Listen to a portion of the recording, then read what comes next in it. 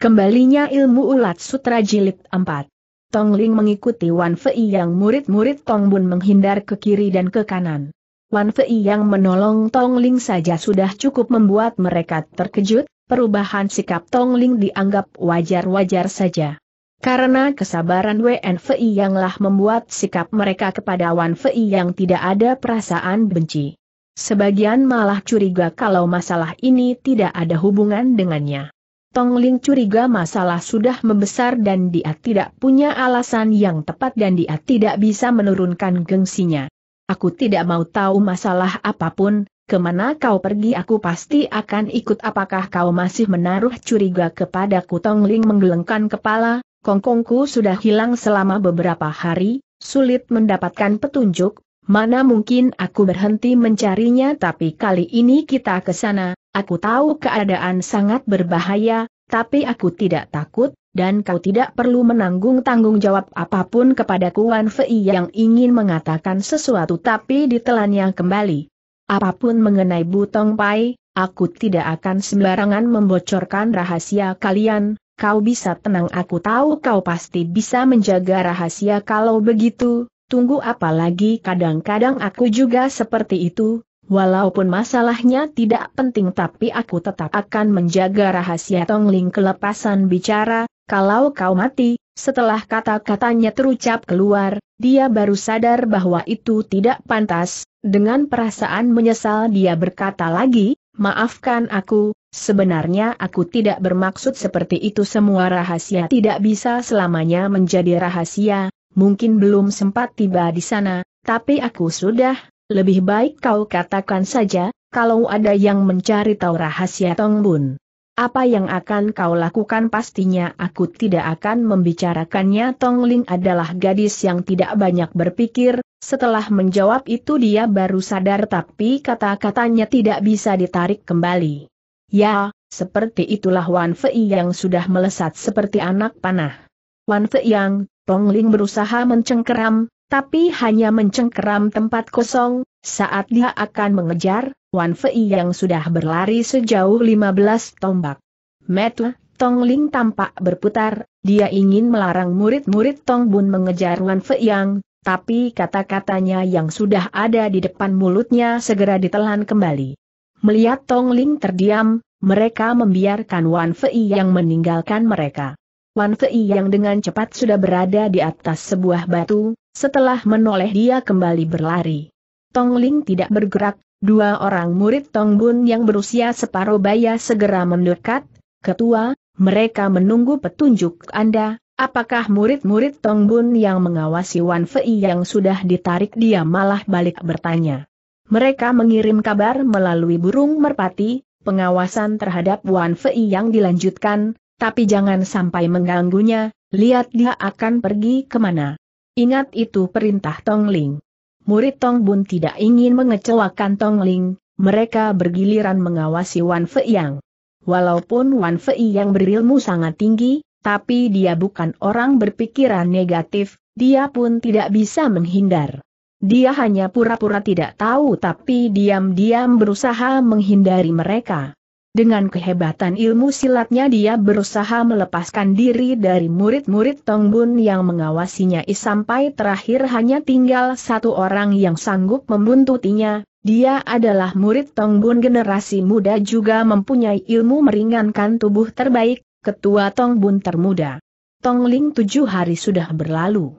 Siang hari itu, Sinar matahari bersinar menembus sela-sela daun di hutan tapi tetap membuat orang merasa dingin. Pohon besar tumbuh di mana-mana, sebuah jalan kecil berada di sana, katanya itu adalah satu-satunya jalan untuk melewati hutan itu, tapi Tong Ling tidak menyukai jalan ini juga tidak menyukai suasana di sana, tapi dia tidak ada pilihan. Wan Fei yang pasti akan berjalan melalui jalan kecil itu, dia harus terus mengawasi Wan Fei yang, dia harus berada di depannya. Selama dua hari ini keadaan Tong Ling seperti itu, berada di depan Wan Fei yang untuk mengawasinya. Jika Wan Fei yang menanyakan jalan kepada pejalan kaki lainnya, dia akan segera bertanya kepada orang yang sama, kemudian melalui jalan pintas menunggu Wan Fei yang di depan. dia berusaha untuk berhati-hati, dia juga berusaha agar tidak putus kontak dengan murid-murid Tong Bun lainnya semua mengandalkan kerja kerasnya seorang diri.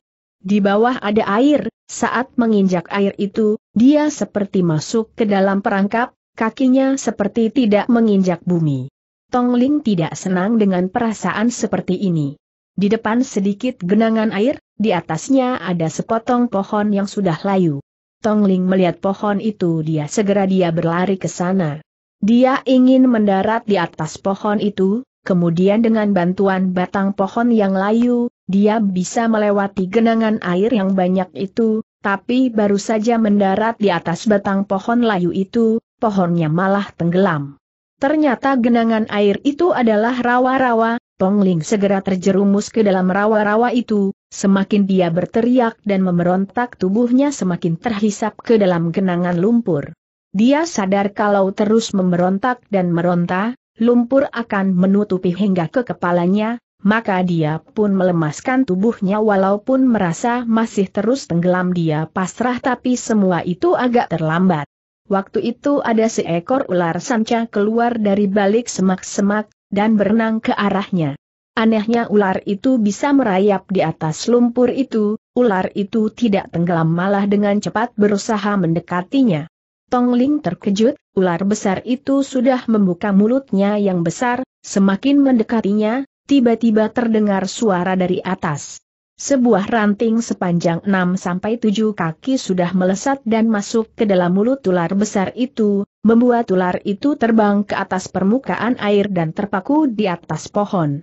Ular itu memuntahkan darah, dan terus memberontak, membuat siapa pun terkejut. Tong Ling pun terkejut sorot matanya segera mencari-cari lalu dengan senang berteriak. Wan Fei yang Wan Fei yang sedang berdiri di sana, dia berteriak, sambut, kemudian dia melempar rotan ke arah Tong Ling. Setelah rotan berada di tangannya dia ditarik oleh Wan Fei yang, dia bisa terbang ke arah Wan Fei yang. Wan Fei yang mengulurkan tangannya untuk memegang pundak Tong Ling. Begitu Tong Ling bisa berdiri tegak, dia segera jatuh ke dalam pelukan Wan Fei yang dan menangis sejadi-jadinya. Dia memang bersifat keras, tapi baru pertama kalinya dia berkelana di dunia persilatan.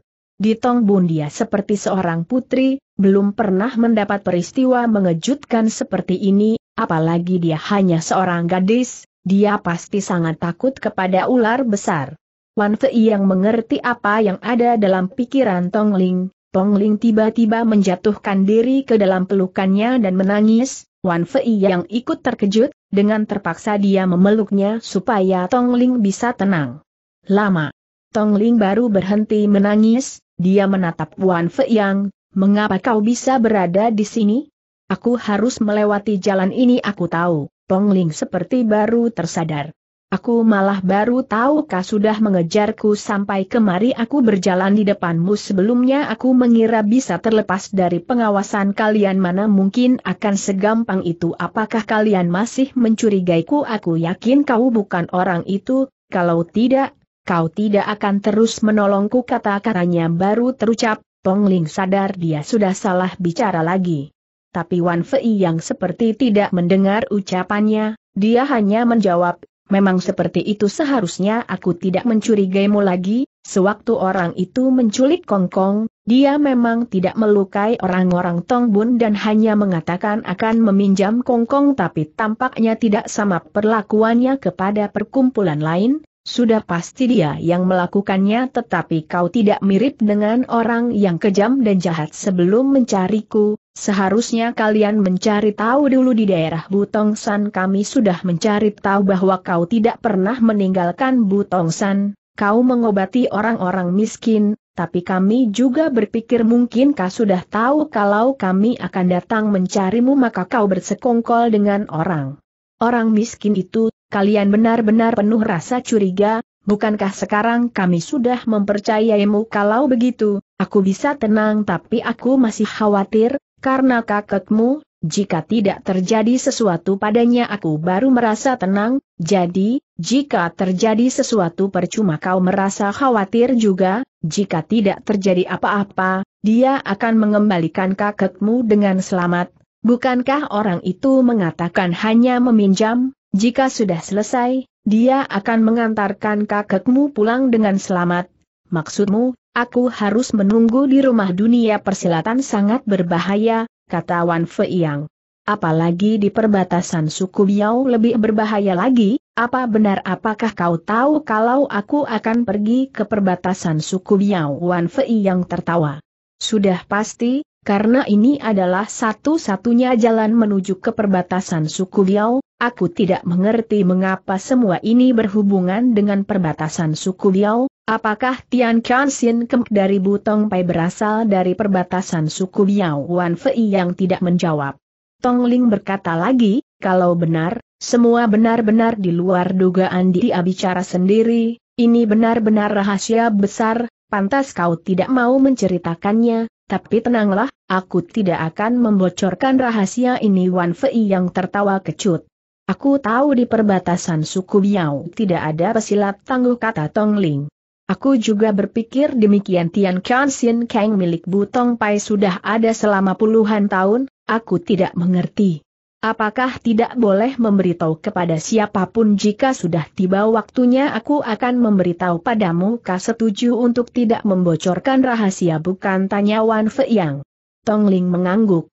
Seharusnya memang begitu, rahasia Tong Bun sudah pasti tidak akan kubocorkan kalau kau sudah mengerti itu paling bagus, sekarang aku percaya kepadamu kata Tong Ling, aku tidak akan memaksamu menceritakan rahasia ini kalau begitu, kau setuju untuk kembali ke Tong Bun? Kembali ke Tong Bun? Tong Ling berteriak, apa pun yang terjadi, ke mana pun kau pergi aku harus ikut denganmu. Perbatasan suku Biao, aku tahu di sana berbahaya, tapi jika bersamamu, aku tidak akan merasa takut, aku mempunyai kemampuan mengurus diriku sendiri, dia melihat rawa-rawa tadi, Tadi bisa terjadi seperti itu karena aku tidak mempunyai pengalaman, nanti tidak akan terjadi hal seperti itu lagi, Wan Fei yang tertawa kecut.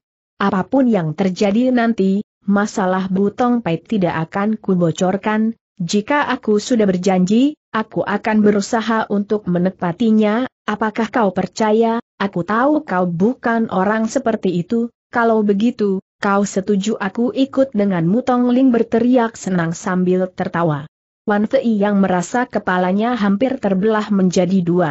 Gadis yang ada di depan matanya tidak berbedanya dengan dia saat baru berkelana di dunia persilatan. Mungkin gadis ini lebih emosi. Pergi ke perbatasan Biao pasti sangat berbahaya, mengurus dirinya saja sudah sulit, jika Tong Ling berada di sisinya, benar-benar tidak terbayangkan. Lebih baik kau, aku tidak mau kau tinggalkan dia segera merapat ke Wan Fei Yang, tapi begitu sadar dia masih berada dalam pelukan Wan Fei Yang, dia segera beringsut mundur. Ada apa tanya Wan Fei yang terkejut. Wajah Tong Ling menjadi merah, setelah Wan Fei yang melihat ke arahnya dia baru mengerti, dia mengalihkan topik pembicaraan, aku lupa kalau tubuhmu penuh dengan lumpur, pasti terasa tidak nyaman, Tong Ling menatap Wan Fei Yang, wajahnya semakin merah, Wan Fei yang baru melihatnya sebab Tong Ling tadi berada dalam pelukannya sehingga bajunya pun penuh dengan lumpur.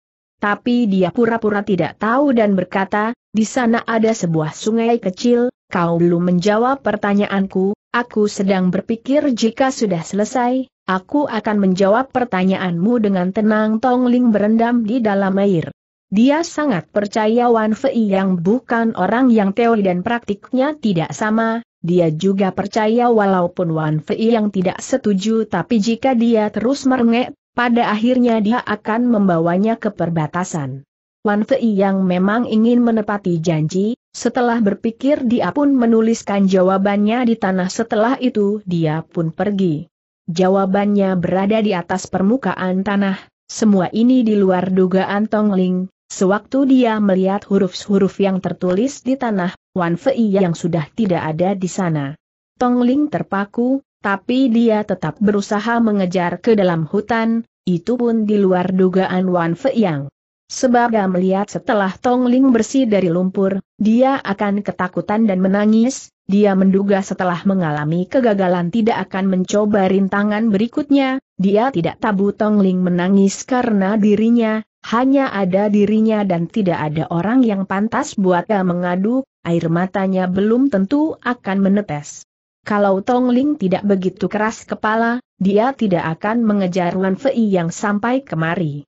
Jika sudah di sini, mana mungkin setelah mengalami kegagalan akan mundur begitu saja. Setelah masuk hutan, suasana begitu menyeramkan dan gelap, Tong Ling sangat berhati-hati dalam melangkah. Setelah mengalami kegagalan dia mulai mengerti bahwa dia harus berhati-hati dan berwaspada. Setelah melewati hutan dan masuk gunung, terlihat pemandangannya sangat indah, tidak ada yang membuatnya takut. Sepanjang jalan tidak dia bertemu dengan seorang pun. Selama sepuluh hari lebih Wan Fei yang selalu berburu ayam hutan dan kelinci untuk mengisi perut.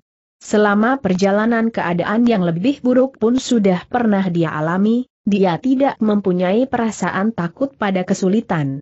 Wan Fei yang hanya merasa aneh, mengapa di sini tidak ada seorang pun yang tinggal, karena dia tidak tahu bahwa dia sudah memasuki tempat di mana suku Biao tinggal. Tempat itu adalah tempat terlarang bagi suku Biao, hutan itu adalah hutan pelindung alam. Pesilat tangguh seperti Tong Ling pun hampir terjebak ke dalam lumpur, orang biasa mana mungkin bisa melewati hutan ini? Wan Fei yang lupa kalau dia adalah seorang pesilat tangguh. Tapi dia tetap berhenti di sebuah danau. Danau itu sangat luas, dari ujung ini tidak bisa melihat ke ujung sana, hanya bisa melihat gunung-gunung yang berderet. Hari hampir sore, Wan Fei yang sedang membuat rakit dari batang rotan, Paginya Wan Fei yang telah mendayung rakit untuk menyeberangi danau, sampai ke seberang. Air danau tampak jernih, tenang, dan bersih. Rakit meluncur melewat riak danau, sampai-sampai saat mendayung pun terdengar merdu. Semakin mendekati seberang, keadaan di sana semakin aneh. Di depan terdapat jurang, dinding batu menghalangi di tengah-tengah air, seperti sebuah sekat. Di antara sekat itu terdapat sebuah celah, melihat ke dalam celah selain ada air juga terlihat cahaya dari langit, Wan Fei yang tidak sengaja mendayung rakit hingga masuk ke dalam celah. Celah ini sangat besar, dari luar terlihat tidak begitu dalam, tapi setelah masuk baru terasa. Setelah rakit melewati celah itu pemandangan di depan berbeda sekali dengan di luar. Tempat di sana seperti sebuah gayung, gagang gayung berupa air terjun. Air bercipratan kecuali itu ada sebuah kolam, airnya tampak bening hingga bisa melihat ke dasar. Sewaktuan Fei yang berlatih ilmu silat di Butongsan, keadaan di sana hampir sama dengan di sini, hanya saja tempat ini lebih tenang, sampai air terjun pun tidak mengalir sederas di Butongsan. Walaupun begitu, dia tetap merasa tempat itu ramah. Kegembiraan hatinya sulit dilukiskan, saat tertawa atau senyumnya baru terlihat dari mulutnya, rakit yang didayungnya tiba-tiba terguling. Ini benar-benar di luar dugaannya, walaupun ilmu silatnya tinggi dan refleksnya cepat, dia tetap terguling dan masuk ke dalam air. Dalam cipratan air, dia seperti melihat seorang gadis telanjang, dia berenang cepat seperti seekor ikan datang ke arahnya, dia juga merasa telah dipeluk oleh gadis itu. Dia seperti terbius, dia mendorong tangannya keluar, tempat di mana dia mendorong terasa empuk dan lembut. Dia sadar benda apa itu maka jantungnya segera berdebar-debar kencang, dengan cepat tangannya ditarik kembali, itulah perasaan yang mendera sebelum dia pingsan. Kemudian jalan darah di beberapa tempat sudah ditotok. Sewaktu Wan Fei yang tersadar kembali, dia sudah berada di dalam sebuah gua. Tanpa diragukan lagi gua itu sudah ditata oleh tangan manusia, sangat indah, juga terlihat sedikit bersifat kekanak-kanakan. Seorang gadis duduk di pinggir ranjang. Suasana yang terasa begitu kekanak-kanakan membuat semuanya bertambah lucu. Gadis itu sudah mengenakan baju, tapi Wan Fei yang masih merasa dia melihat tubuh telanjangnya sebab sebelum pingsan pikirannya berhenti saat dia masih berada di dalam air, sekarang setelah dia tersadar kembali, baru merasa kalau dia sedang berbaring di atas sebuah ranjang batu, kaki dan tangannya diikat dengan tali. Tubuhnya digerakkan, dia ingin berdiri, tapi melihat tali yang menyambung dengan ranjang batu itu menempel ke dalam tanah. Walaupun tenaganya besar, sulit untuk menggesernya. Karena tidak bisa bangun, maka Wan Fei yang melihat keadaan di sekelilingnya, kemudian dia menarik nafas panjang. Kau sudah sadar tanya gadis itu. Dia berbaju suku Biao tapi berbahasa Han dengan sangat lancar, hal ini membuat Wan Fei yang merasa aneh dan bertanya, apakah kau suku Han gadis itu menggelengkan kepala, dia balik bertanya, apakah aku mirip orang suku Han kau menguasai bahasa Han dengan baik gadis itu terlihat benar-benar senang. Untung kau menguasai bahasa Han, kalau tidak, aku tidak tahu apa yang harus kulakukan sekarang kata Wan Fei yang. Aku tidak akan melukaimu tapi kau, namaku Pei Pei, namaku tidak begitu indah tapi aku menyukainya aku juga suka Wan Fei yang memang merasa nama itu bagus. Pei Pei tertawa, aku tahu kau pasti menyukainya, kalau tidak, kau tidak akan datang kemari, ini yang disebut jodoh yang sering dikatakan kalian suku Han, oh siapa namamu tanya Pei Pei. Wan Fei yang waktu Wan, awan, sedang Fei yang, bukankah udara yang bagus, artinya waktu awan sedang terbang. Kata-kata seperti ini baru pertama kali Wan Fei yang mendengar, tapi mengingat pengalamannya yang menyedihkan, dia hanya tertawa kecut.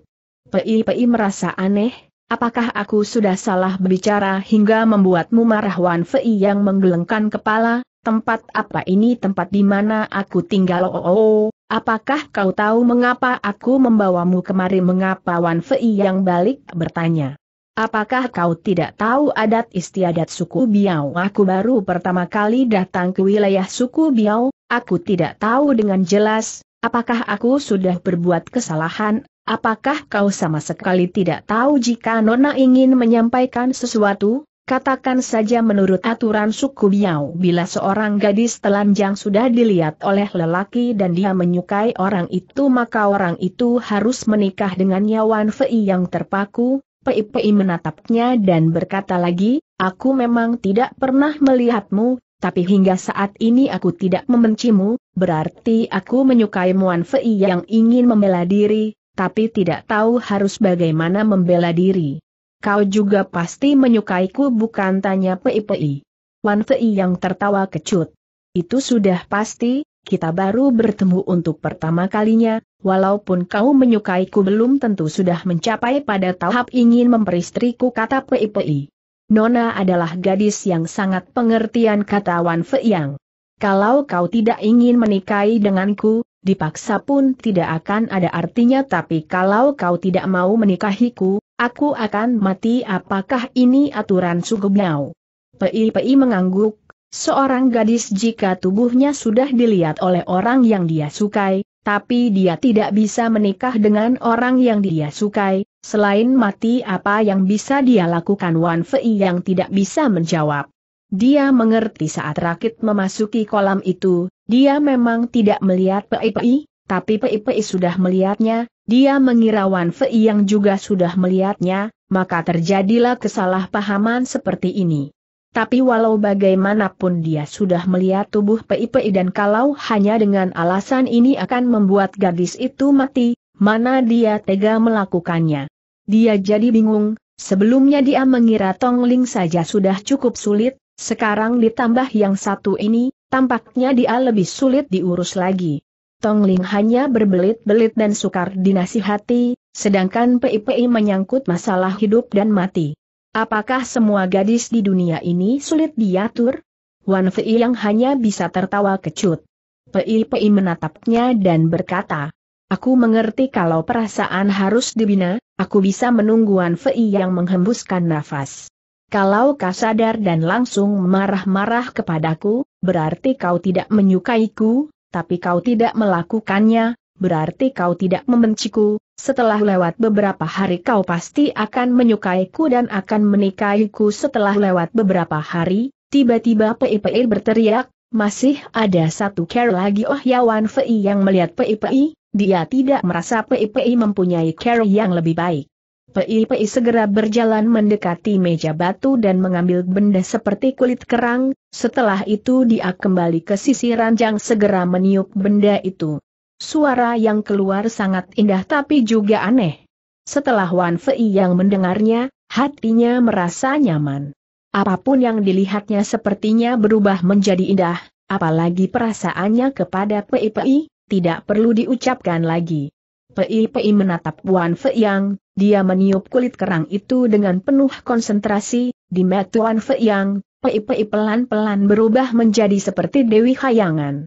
Tentu saja Wan Fei yang belum pernah melihat Dewi, tapi di matanya, Pei Pei seperti sedang menari di atas langit, seperti seorang Dewi. Tidak lama kemudian tiba-tiba ada suatu perasaan merayap ke tangannya, begitu dilihat dia menghembuskan nafas dingin, sebab di tangannya banyak ulat-ulat yang berkilauan sedang merayap ke bagian atas tubuhnya. Seekor demi seekor menempel menjadi satu, menjadi benda aneh yang berkilau, seperti benda cair yang sedang bergerak, Wan Fei yang melihat lagi. Benda-benda itu sedang datang dari segala penjuru dengan cepat menutupi bagian bawah tubuhnya. Apa ini Wan Fei yang berteriak? Pei Pei seperti mabuk terus meniup benda seperti kulit kerang itu, teriakan Wan Fei yang telah membuatnya tersadar kembali dan pelan-pelan meletakkan kulit kerang itu ke atas meja. Benda-benda yang merayap itu adalah ulat sutra emas. Bersamaan waktu ulat sutra emas itu pun berhenti merayap. Ulat sutra emas Wan Fei yang segera ingat pada Tian Kan Sin Kang. Pei Pei menjelaskan bahwa itu adalah salah satu ku. Ku, hati Wan Fei yang terasa dingin, kau bisa memakaiku, ilmu guna-guna.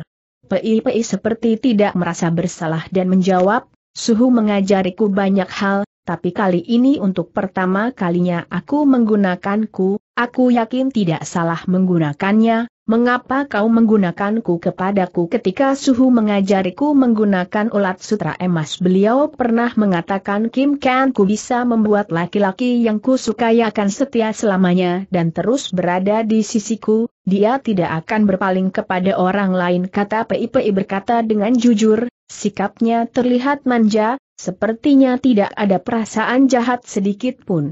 Wan Fei yang menarik nafas, memelihara guna-guna, berlatih ilmu guna-guna, itu pendapat masing-masing, aku tidak berani mengatakan kalau itu salah, tapi tujuan menggunakan guna-guna sudah sangat jelas maksudmu, aku bersalah gurumu tidak pantas mengajari hal seperti itu kepadamu jawab Wan Fei yang sambil menarik nafas, Seorang laki-laki karena takut kepadaku akan menyukaimu, hanya karena dia takut racun, maka pikiran, dan gerakan mereka akan dikuasai oleh Kim Kenku, guna-guna ulat sutra emas. Dengan terpaksa mereka akan tunduk kepada kehendakmu, dia akan menjadi seperti mayat hidup, rasa suka dan sayangnya bukan berasal dari lubuk hatinya, Kim Kenku yang kau maksud tadi terlalu menakutkan kata PIPI menggelengkan kepala. Apakah orang yang telah terkena guna-guna jika meninggalkan tempat ini akan sering kambuh dan keadaannya sangat tersiksa tapi dia tidak akan mati perasaan itu pasti akan membuat siapa pun dengan cepat mengubah keputusan awalnya kata Wan Fei Yang.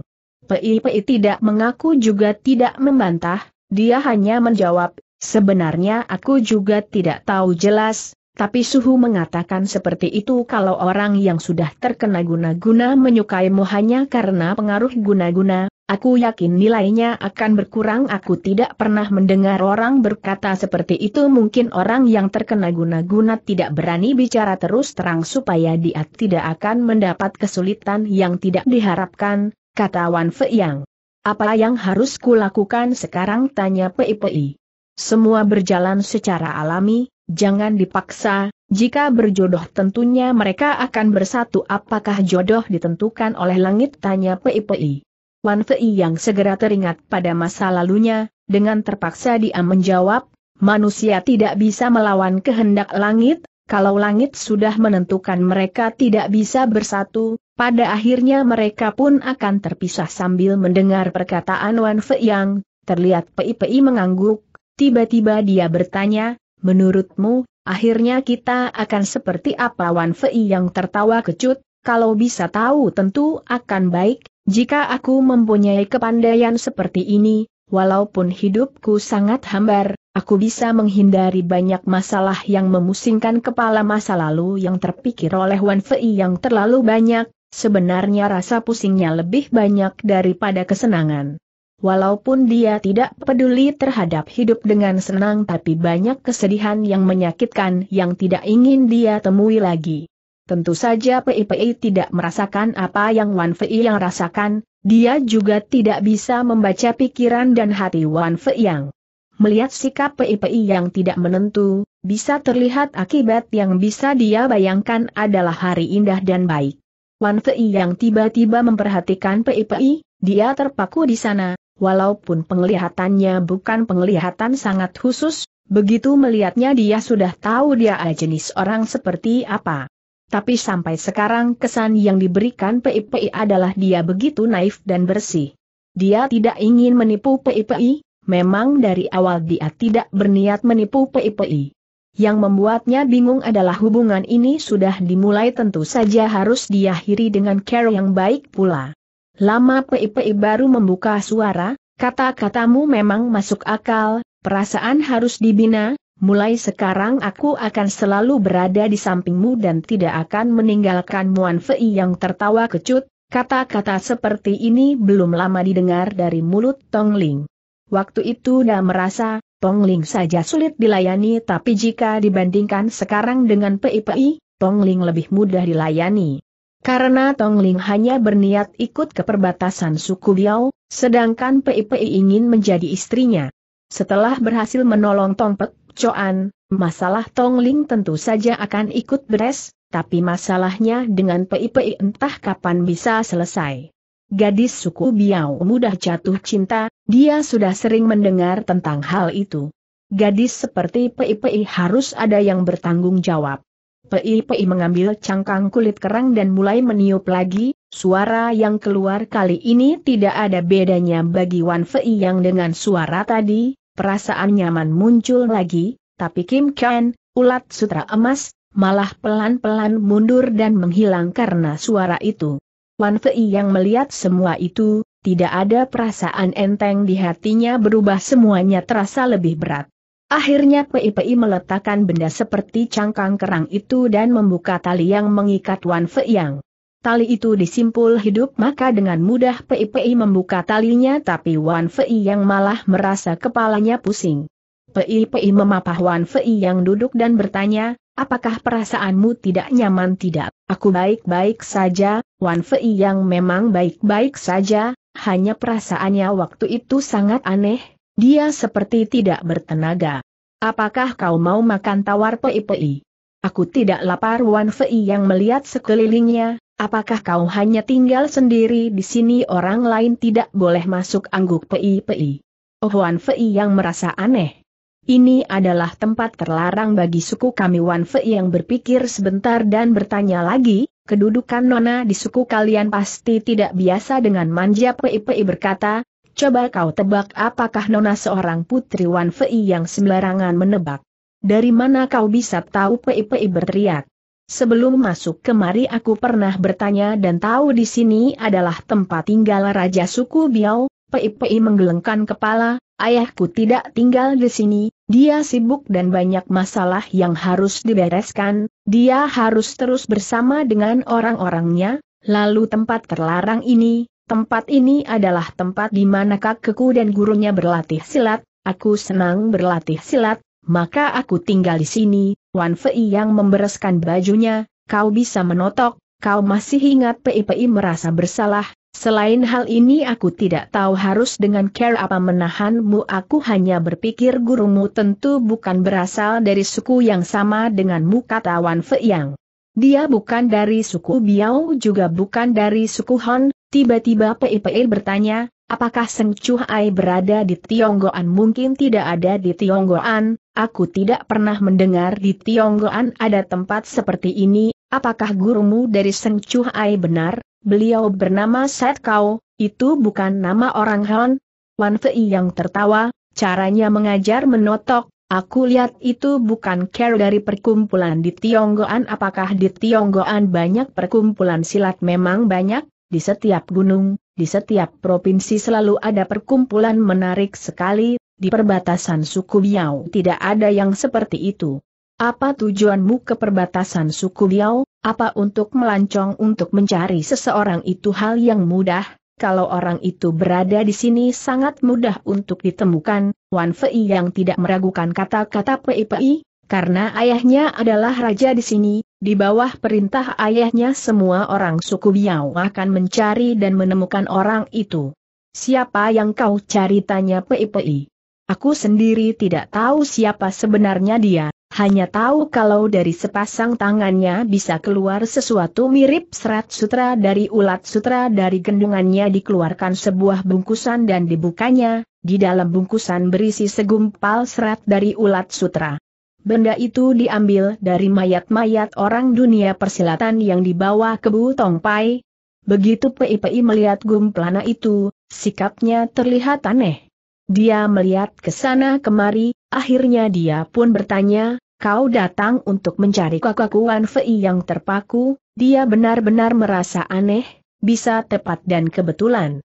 Selain kakakmu apakah ada orang yang menguasai ilmu ini? Kemudian dia balik bertanya, ada apa kau mencarinya pertama, aku harus yakin apakah dia adalah orang yang sedang kucari, kalau bukan, tidak ada masalah apa pun ia berada di sini apakah kau bisa membawaku menemuinya mengapa tidak tangan Pei Pei masuk ke dalam genggaman tangan Wan Fei Yang, setelah bertemu dengan kakakku lalu bertemu dengan ayahku, masalah kita ini harus diberitahukan kepada mereka. Wan Fei yang selain ingin tertawa dia juga merasa bersalah, karena dia sedang memperalat Pei Pei.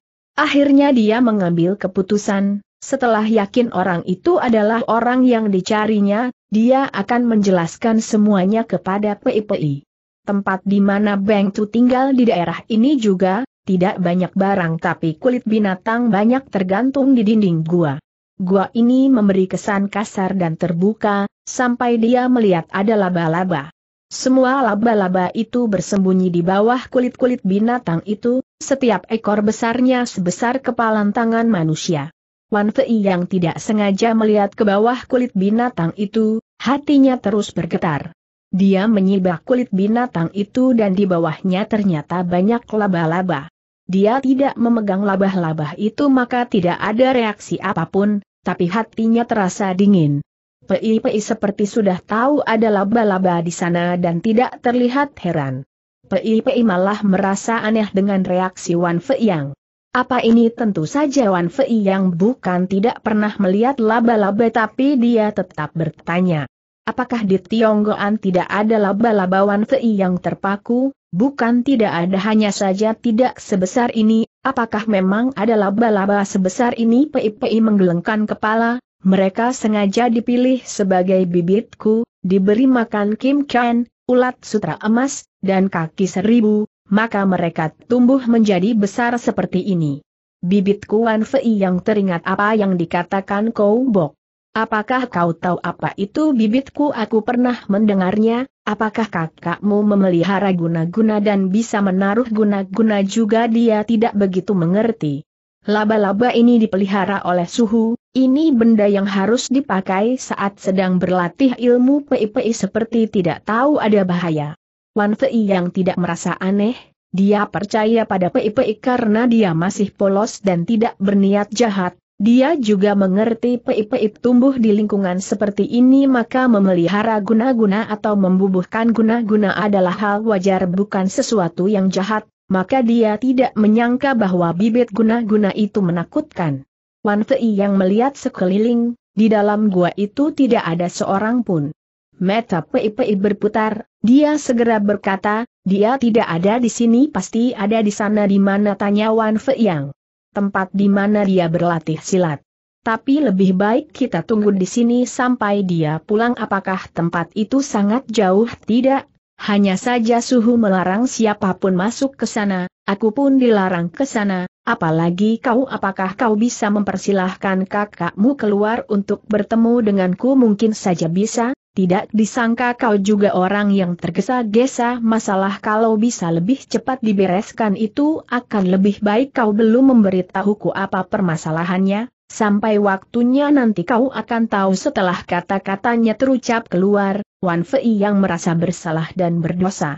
Pei Pei tidak memperhatikan sikap Wan Fei yang, dia juga tidak bertanya lebih jauh, dia hanya terus mendekati Wan Fei yang. Di dalam hatinya dia sudah menganggap Wan Fei yang adalah suaminya. Setelah keluar dari gua di mana Beng Tu tinggal, Pei Pei segera menuntun Wan Fei yang naik gunung. Di luar gunung ada gunung, gunung-gunung di sana berbentuk aneh, disebut indah bisa, disebut misterius pun tidak salah. Setelah melewati dua gunung, terlihat ada sebuah danau di antara dua gunung, di depan danau ada sebuah gunung yang tampak ditumpuk oleh papan dari batu. Papan batu itu ada yang panjang, ada yang pendek, ada yang tebal, ada yang tipis, dengan posisi tidak teratur ditumpuk menjadi satu, memberi kesan berbahaya dan misterius, di tengah-tengahnya terdapat pintu. Apakah kakakmu berada di sana? PIPI mengangguk, dia meloncat ke atas sebuah sampan yang berlabuh di sisi danau. Beng Tu sedang duduk bersila di dalam gua di atas sebuah batu, tubuhnya penuh dengan benda seperti benang tenun seperti serat sutra laba-laba, dia duduk dengan posisi seperti dalam sebuah kepompong. Kali ini bukan benang berwarna abu keputihan tapi hitam keunguan. Di depan Beng Tu, duduklah Tong Pek Coan seperti sebuah patung batu, kedua matanya terpejam dan dia tidak bergerak. Sikapnya tetap terlihat keras, kesedihan dan rasa sakit terlihat dari kerutan di antara kedua alisnya, kulit di seluruh tubuhnya sudah berubah menjadi putih, sepertinya dalam waktu dekat ini, dia sudah banyak menelan rasa sakit. Suara gemuruh masih berbunyi di dalam gua, sekali demi sekali bercampur dengan kejahatan. Suara itu seperti suara orang melafalkan mantra. Laba-laba beroman manusia karena suara itu melalui benangnya merayap ke tubuh Beng Tu. Setiap benang sutra itu dimulai dari tongpek coan. Setiap helai benang sutra itu seperti ditarik keluar dari tubuh tongpek coan. Setelah dilihat dengan teliti, dari telinga dan hidung tongpek coan terlihat ada laba-laba beroman manusia berbentuk kecil, mereka keluar masuk dari sana. Laba-laba beroman manusia itu benar-benar sangat kecil, dengan laba-laba yang merayap ke tubuh Beng Tu berbeda 2%, tentu saja dengan keluar masuknya laba-laba itu membuat Tong Pek Choan merasa tidak nyaman, terlihat dari otot wajahnya terus gemetar untuk menahan rasa sakit. Dalam desisan suara seperti melafalkan mantra tiba-tiba terdengar dentang lonceng, suara lafalan mantra semakin mengecil. Dentang lonceng semakin mendekat, terlihat ada seorang orang tua berambut putih dan panjangnya hingga mencapai tanah memasuki gua. Telinganya lebar, di pahanya tergantung penuh lonceng besar dan kecil berwarna besi, ternyata suara mantra itu keluar dari mulutnya. Dia berhenti di sisi kolam, suara lafalan mantra pun berhenti, sambil tertawa dia berkata kepada Tong Pek Choan, Hei Marga Tong, kau masih bisa bertahan berapa lama? Akhirnya Tong Pek Choan membuka matanya, matanya terlihat penuh dengan syaraf merah, dia berteriak, set kau, dengan ilmu guna-guna melukai orang, itu bukan perbuatan seorang laki-laki sejati bukan tindakan seorang pahlawan. Kalau kau dengan baik-baik memberikan tenaga dalammu kepada muridku ini, kau tidak perlu merasa tersiksa seperti ini kata Set kau tertawa kalian juga sama-sama dari kalangan persilatan, kalian bisa-bisanya menggunakan care seperti ini Tongpek Coan marah.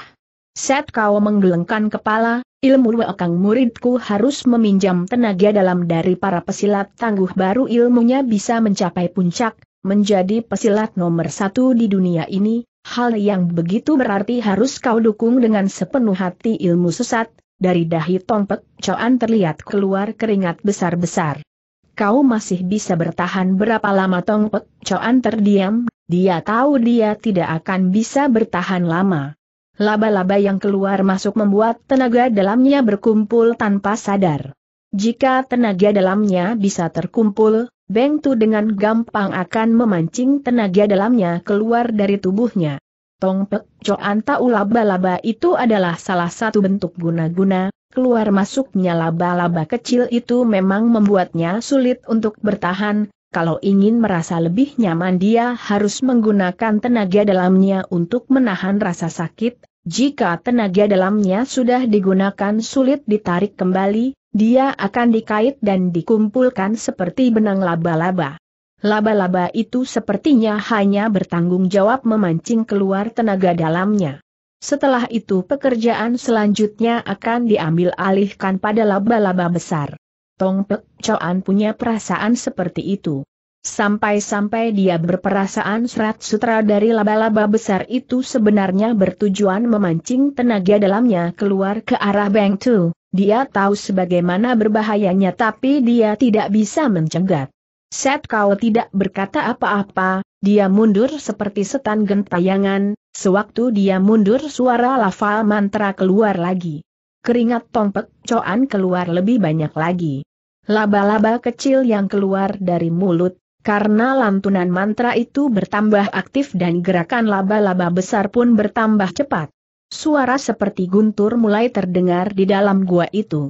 Akhirnya mereka berhenti di luar gua, sikap PIPI terlihat selalu santai, tapi begitu mendengar suara seperti guntur itu dia terlihat sangat tegang. Suara itu terdengar dari luar gua tidak terlalu besar tapi tetap saja membuat orang merasa geger. Wan Fei yang mulai memperhatikan, suara apa itu suhu sedang menaruh serangga Wan Fei yang bergetar, apakah serangga itu lebih lihai dari Kim Kan Chong itu sudah pasti. Dari suaranya saja bisa kita bayangkan apakah dia tahu kalau ada orang mau masuk Wan Fei yang menaruh curiga. Kau kira beliau meletakkan guna-guna untuk menghadapimu. Antara kau dan dia tidak ada perselisihan, dia tidak akan melakukannya katanya orang yang sangat pandai menaruh guna-guna jika ada yang mencarinya, dia sudah tahu sebelumnya, kecuali kalau di tubuh orang yang akan datang sudah ada guna-guna yang pernah dia taruh maka dia akan tahu. Apakah ini pertama kalinya kau datang kemari? Betul, ini pertama kalinya aku kemari, Sampai sekarang aku tidak tahu seperti apa wujud gelurumu PIPI melihat ke dalam gua, hari ini kau tidak akan bisa bertemu dengan mereka apakah kakakmu juga tidak bisa kutemui dia sedang berlatih ilmu silat dan tidak bisa dialihkan perhatiannya, Suhu tidak suka di saat seperti sekarang ini ada yang mengganggunya apakah berlatih ilmu silat ada hubungannya dengan menaruh guna-guna? PIPI mengangguk, Suhu menaruh guna-guna untuk membantu kokoku berlatih ilmu silat, seperti apa detailnya aku juga tidak tahu dengan jelas sekali berlatih ilmu silat butuh berapa lama, tidak tentu, tiga. Empat bulan sudah biasa PIPI memegang tangan Wan Fei Yang, lebih baik kita cari ayah dulu, di sana lebih ramai dan sehari-hari bisa berlalu dengan cepat. Kau senang dengan keramaian. Tidak terlalu senang, tapi mungkin karena tinggal di sini terlalu lama maka aku merasa pergi ke tempat ramai tidak akan merasa tidak suka kadang-kadang aku pun seperti itu angguk Wan Fei Yang. Dari awal aku sudah tahu sifat kita memang mirip, kita adalah sepasang kekasih ideal, perkataan ini keluar dari mulutnya tapi seperti tidak keterlaluan, karena perasaan ini keluar dari hatinya yang terdalam. Bagaimana menangani perasaan seperti ini? Wan Fei yang termangu melihat Pei Pei, sulit untuk memberi komentar.